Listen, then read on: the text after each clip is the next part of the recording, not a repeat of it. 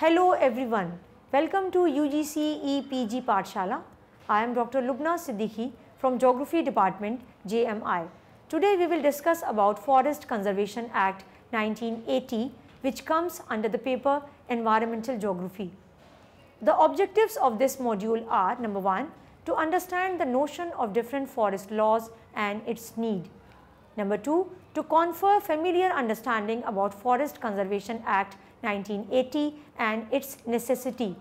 Number 3 to discuss salient features of Forest Conservation Act 1980. Number 4 to know amendments in the Forest Conservation Act 1980. Number 5 to examine drawbacks of Forest Conservation Act 1980. Now introduction. A forest referred to as a wood or the woods in an area with a high density of trees. Forest may vary significantly in size and have different classifications according to how and of what the forest is composed. Tree forest cover approximately 9.4 percent of the earth's surface or 30 percent of the total land area though they once covered much that is about 50 percent of the total land area. They function as habitats for organisms, hydrologic flow modulators and soil conservers constituting one of the most important aspects of the biosphere. Thus, viewing their necessity, there is need for the conservation of forest. Forest conservation is the exercise of planting and sustaining forest areas for the benefit and sustainability of future generations. The conservation of forest also stands and aims at a quick shift in the composition of tree species and age distribution. Forests are center to all human life because they provide a diverse range of resources and multiple benefits too. Forest conservation refers to a range of activities, tools and approaches to achieve forest health and biodiversity objectives including in managed forest where harvesting occurs. These activities are set out in sustainable forest management plans and many are backed by law according to NRCAN 2017. Conservation efforts may take the form of provisional guidelines that forest companies operating on the land must follow such as retain trees used by wildlife during harvesting, create a mix of tree species, types and age, ensure that sections of forest remain connected to meet wildlife habitat needs. When we, when we talk of conserving native forest, we really mean a deliberate rationing of the cut so that the use of a dwindling and non-renewable resource will be spread over a long rather than a relatively short period. This type of conservation, important though it is, has nothing to do with sustained yield and is not dynamic in concept. Likewise, the second meaning of conservation reflects a philosophy of preservation by locking up is also a static concept. Nevertheless, it is entirely valid in two contexts. Number one, in the maintenance with as little human interference as is possible of primitive or wilderness areas in some of the larger virgin indigenous state forest. Number 2, in the reservation and maintenance again with the minimum of human interference of forest sanctuaries or strict scientific reserves. These are designed to preserve examples of individual species of forest associations or of particular wildlife habitats because of their scientific and ecological values they constitute an important though specialized facet of forest conservation. The most important type of forest conservation however is the dynamic one. It consists of the deliberate and planned manipulation of forest in such a manner that the many and varied benefits which forest can confer on mankind are maintained unimpaired and are indeed enhanced. Now, initiatives taken to save the forest. Conservation of forest is a national problem, so it must be tackled with perfect coordination between forest department and the other departments. People's participation in the conservation of forest is of vital importance, so we must get them involved in this national task. The cutting of trees in the forest must be stopped at all cost. Afforestation or special programs like agroforestry, social forestry, Van Mahotsav and other forest and other forest related movement such as Chipko movement etc. should be launched and implemented on a grand scale. Celebrations of all functions, festivals should proceed with tree plantation. Cutting of timber and other forest produce should be restricted. Forest Conservation Act 1980 should be strictly implemented to check deforestation.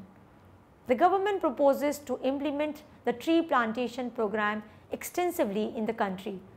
To increase forest and tree cover in the country, the central government has initiated several measures. Notable among them are launching of National Mission for Green India and taking appropriate measures to put in place a proper institutional mechanism for expeditious utilization of amounts realized in lieu of forest in lieu of forest land diverted for non-forest purpose. Number 1 the National Mission for Green India. It aims at enhancing quality of forest cover and improving ecosystem services from 4.9 million hectares of predominantly forest lands launching 1.5 million hectares of moderately dense forest cover, 3 million hectares of open forest cover, 0.4 million hectares of degraded grasslands. Eco-restoration or afforestation to increase forest cover and ecosystem services from 1.8 million hectares forest or non-forest lands including scrublands, shifting cultivation areas, abandoned mining areas, ravine lands, mangroves and sea buckthorn areas. Enhancing tree cover in 0.2 million hectares urban and peri-urban areas including institutional lands, increasing forest cover and ecosystem services from agroforestry and social forestry on 3 million hectares of non-forest lands. Number 2, agroforestry. Agroforestry or agro-silviculture is a land use management system in which trees or shrubs are grown around or among crops or pasture land. It combines shrubs and trees in agricultural and forestry technologies to create more diverse, productive, profitable, healthy, ecologically sound and sustainable land use systems. In other words, agroforestry is the management and integration of trees, crops and livestock on the same plot of land and can be an integral component of productive agriculture. It may include existing native forest and forest established by landholders. It is a flexible concept involving both small and large sized land holdings. Number 3 social forestry. Social forestry is defined as forestry outside the conventional forest which primarily aim at providing continuous flow of goods and services for the benefit of people. This definition implies that the production of forest goods for the needs of the local people is social forestry. Thus, social forestry aims at growing forest of the choice of the local population. Some biogeographer stated that conceptually social forestry deals with poor people to produce goods such as fuel, fodder, etc. to meet the needs of the local community particularly underprivileged section.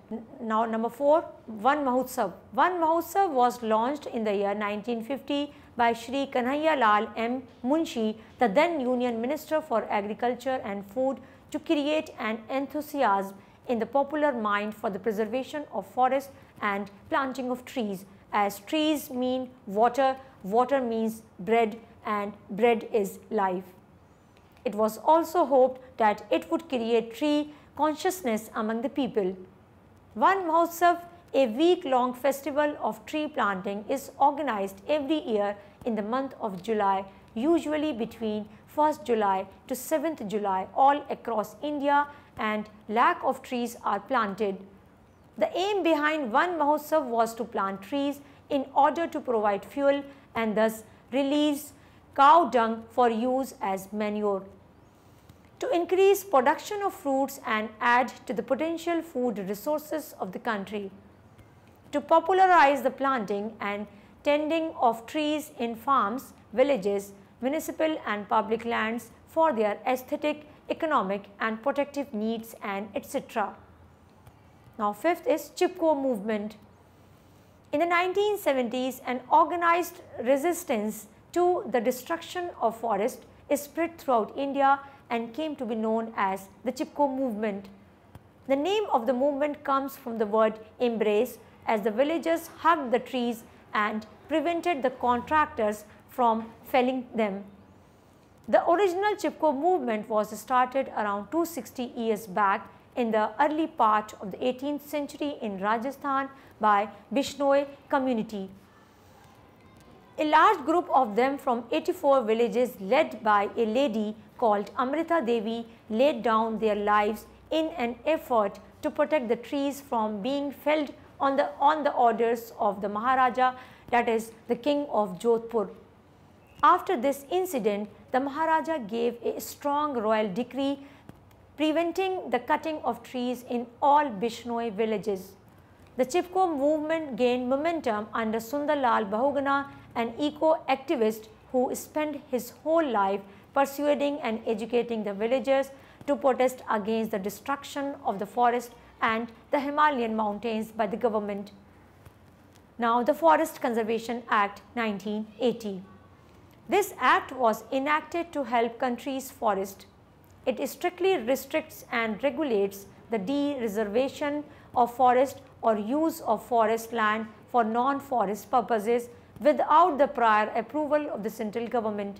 The act lays down the prerequisites for the diversion of forest land for non-forest purposes. Though in 1977, direct reference to forest protection and improvement was made in the constitution through the 42nd Constitutional Amendment Act when Article 40A was inserted into it, the scholars of forest policies and acts in India would be aware that the framers of the constitution were already committed to environmental protection and its improvement since its inception in 1950.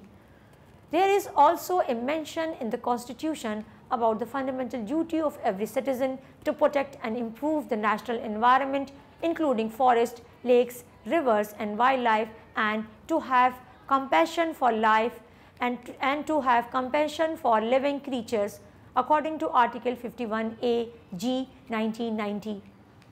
The Forest Conservation Act 1980 will be discussed in detail in the next part of this article. Now, Forest Conservation Act 1980 and Introduction. The Forest Conservation Act 1980 is a central act of parliament with a view to provide for the conservation of forest and for matters connected there with or ancillary or incidental thereto. The act extends to the whole of India except the state of Jammu and Kashmir.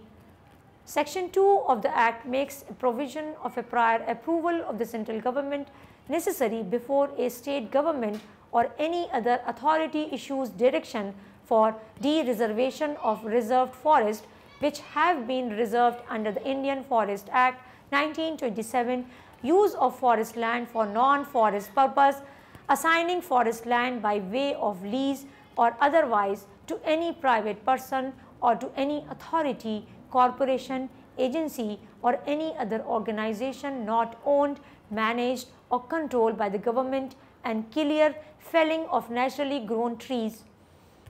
The term forest land mentioned in section 2 of the act refers to reserve forest, protected forest or any area recorded as forest in the government records. Lands which are notified under section 4 of the Indian Forest Act would also come within the purview of the Forest Conservation Act 1980. The Supreme Court has also held that forest as understood in the dictionary sense would also be included under forest land. The term forest shall not be applicable to the plantation raised on private land except notified private forest. Tree falling in such plantation would however be governed by state acts and rules. The term tree will have the same meaning as defined in section 2 of the Indian Forest Act 1927. Now, salient features of Forest Conservation Act 1980. In 1980, the Forest Conservation Act was enacted for providing protection to the forest and to regulate the diversion of forest lands for non-forestry purposes. The major salient features of Forest Conservation Act 1980 are as under number 1. Prior approval of the central government is essential for de-reservation of forest lands and or diversion of forest lands for non-forestry purposes. Number 2. The state government has been empowered under this act to use the forest only for forestry purposes. If at all it wants to use it in any other way, it has to take prior approval of central government after which it can pass orders for declaring some part of reserve forest for non-forest purposes, for example, mining, agriculture, etc. or for clearing some naturally growing trees and replacing them by economically important trees that is reforestation. Number 3, it is a regulatory act and not prohibitory.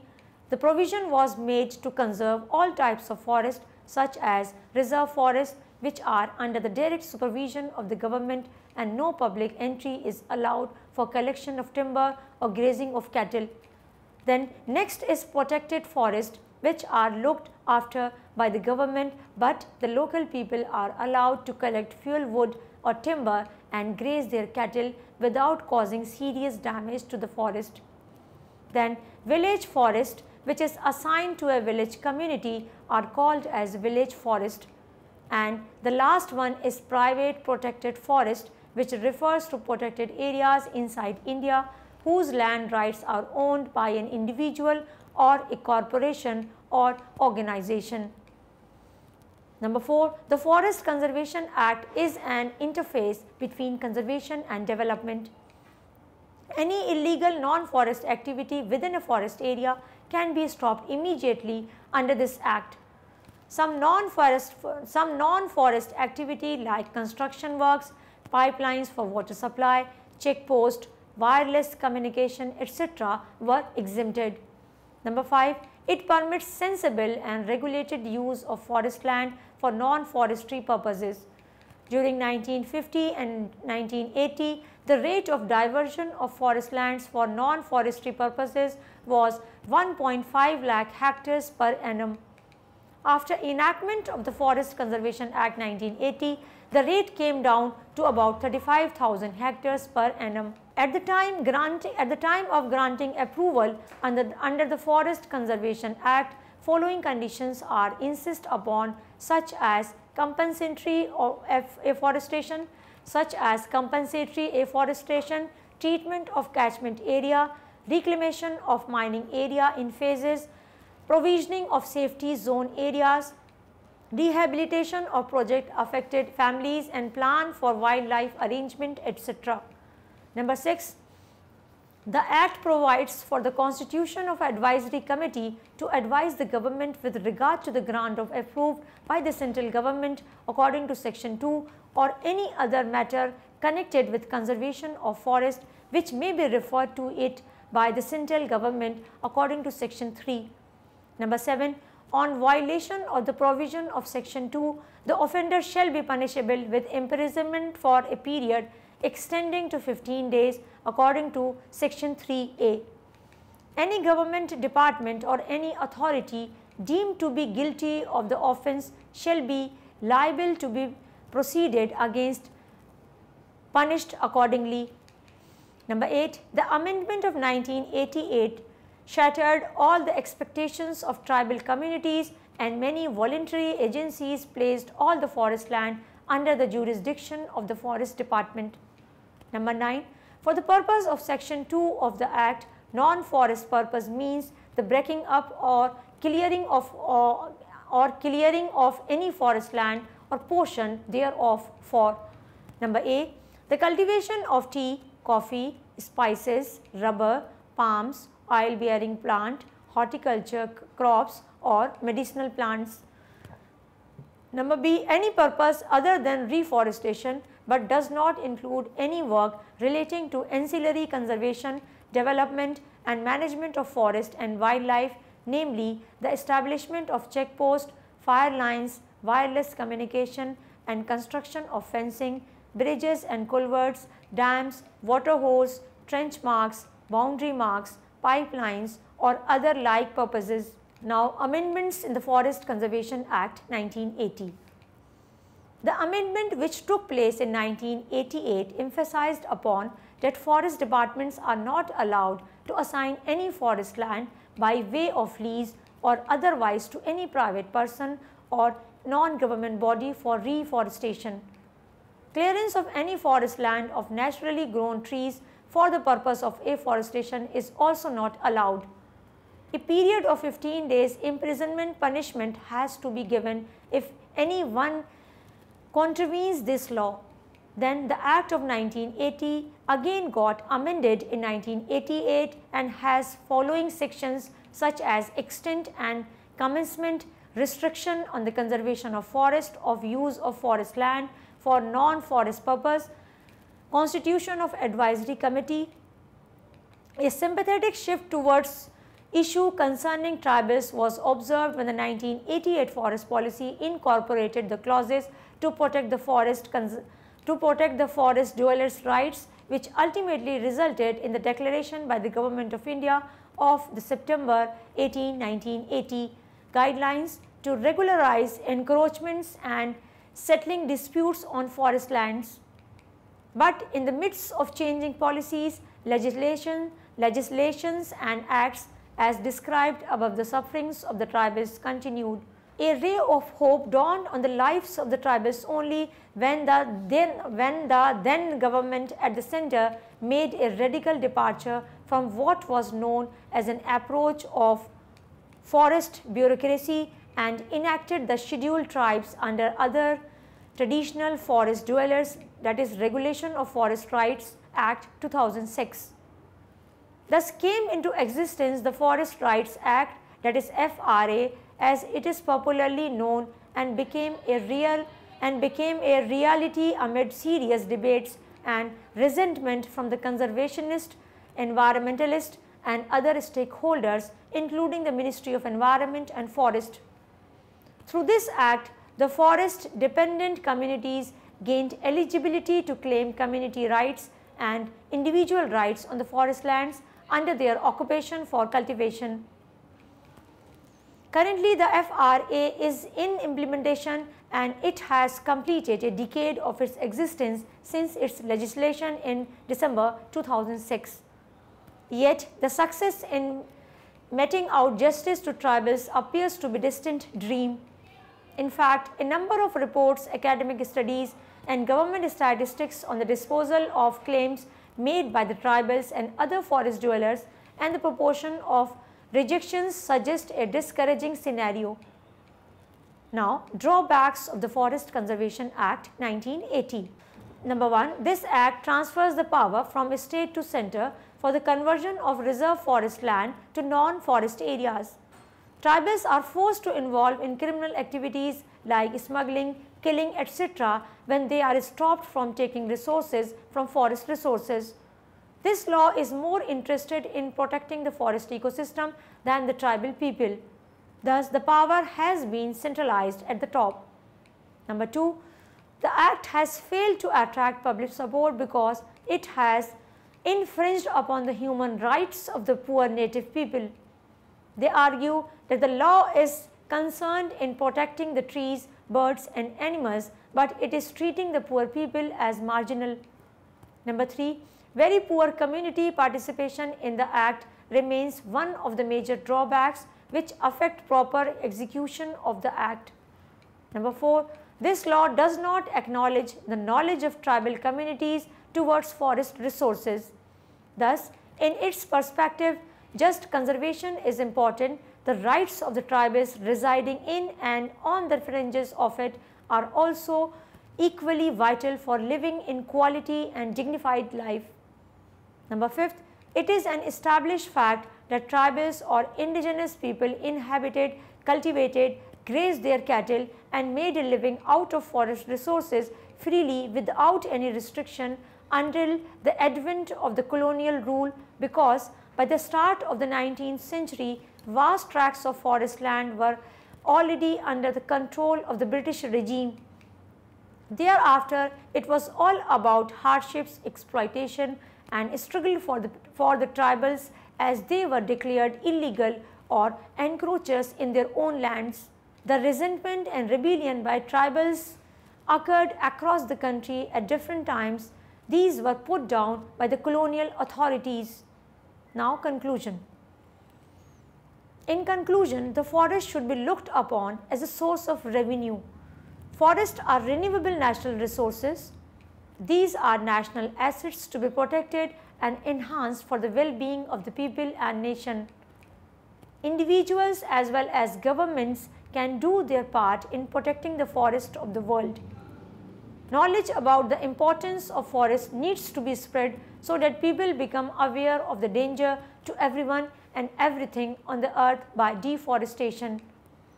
People's participation in the conservation of forest is of vital importance.